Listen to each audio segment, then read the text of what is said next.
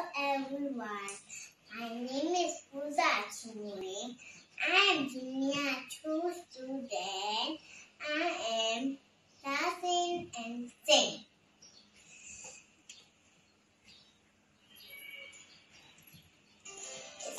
It's, my my thing